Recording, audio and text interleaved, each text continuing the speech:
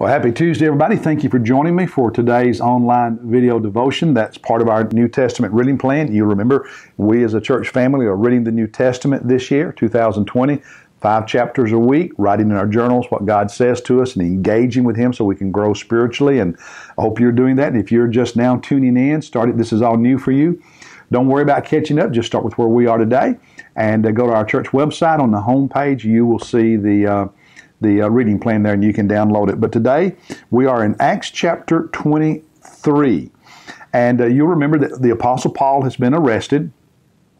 And, and, in a sense, I guess the Romans rescued him from a Jewish mob that was wanting to kill him. But he's, he's still arrest, under arrest and, and, and he's in jail, so to speak. And um, in chapter 3, 23, rather, he's already appeared uh, you know, the Romans have allowed him to, to appear before the Jewish council who is accusing him, and and that uh, nothing was resolved the first day they did that, and so they're going to do it again a second day. But what I want us to do is I want us to read verses 12 to 15. Then I want to make some comments. Okay, verses 12 to 15 of, of Acts chapter 23. And when it was day, the Jews formed a conspiracy and bound themselves under an oath, it was a religious vow, saying that they would neither eat nor drink until they had killed Paul. And there were more than 40 who formed this plot. Then in verse 14, they came to the chief priest and the elders and said, We have bound ourselves under a solemn oath to taste nothing until we have killed Paul. Now, therefore, you here, here's how we want you to help us carry, carry this out. You and the council notify the commander, the Roman commander, to bring Paul, to bring him down to you as, as though you were going to determine his case by a more thorough investigation. So bring him down to the council chambers so you all can interrogate him again, you know, put him on trial and so on. And, um, and we, the 40 of us who've made this religious vow to kill him, we, for our part, are ready to slay him before he comes near this place. Hmm. Now, the plot to assassinate Paul was thwarted because somebody learned about it and told Paul, and then the Romans learned about it as well, and so they didn't do this. But what's interesting to me is here's, here's some uh, Jewish men who make a religious vow that they will not eat or drink anything until they have assassinated the Apostle Paul.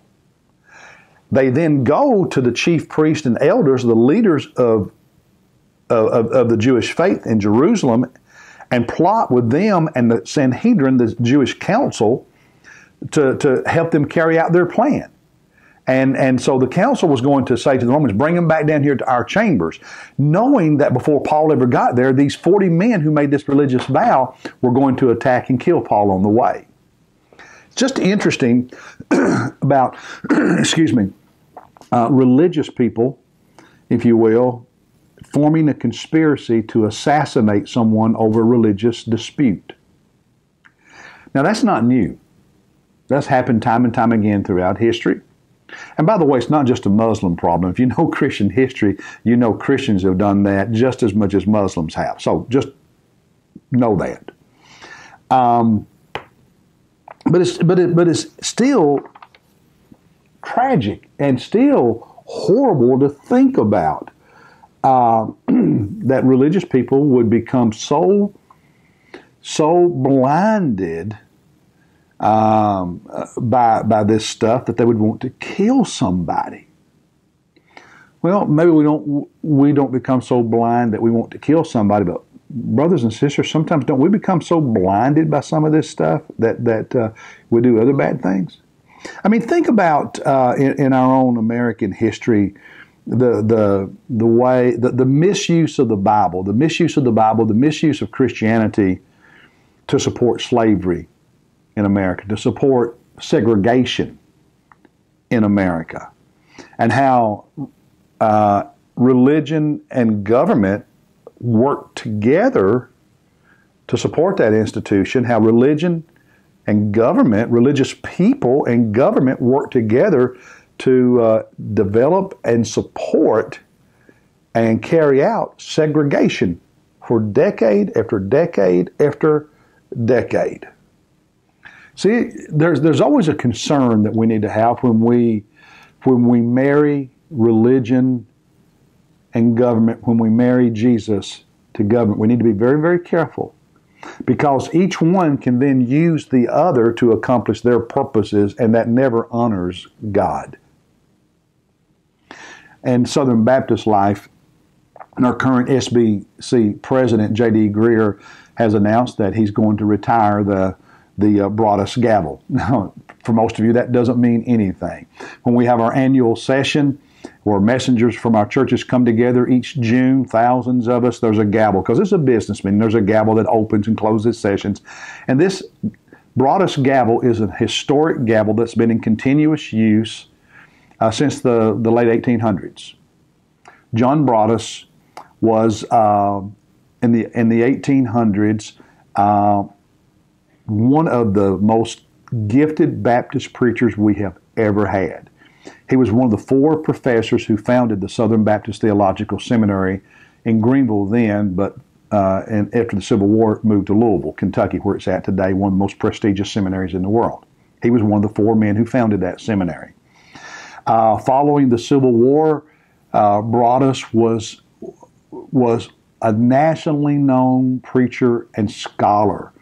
Uh, his book on preaching was used way up until the uh, the, the mid 1900s in seminaries all over the all, all around this country. He gave he was invited as a Southern Baptist to lecture at Yale. Harvard gave him an honorary doctorate. This is in years after the Civil War. So you're talking about a significant, talented man. But before the Civil War, John Broadus owned slaves. During the Civil War, John Broadus was a chaplain for the Confederate Army of Robert E. Lee.